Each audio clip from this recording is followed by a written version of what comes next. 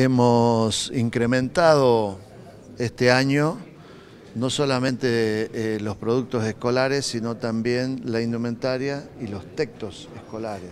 Tratamos de hacerlo, mejorar todos los años y creo que es una, eh, una buena medida. Hay un gran acompañamiento, hay más de 26 empresas que, que están ayudando y apoyando y creo que esto es un beneficio para toda la gente, sobre todo para el que tiene dificultades de, acceder a estos productos. Fíjense que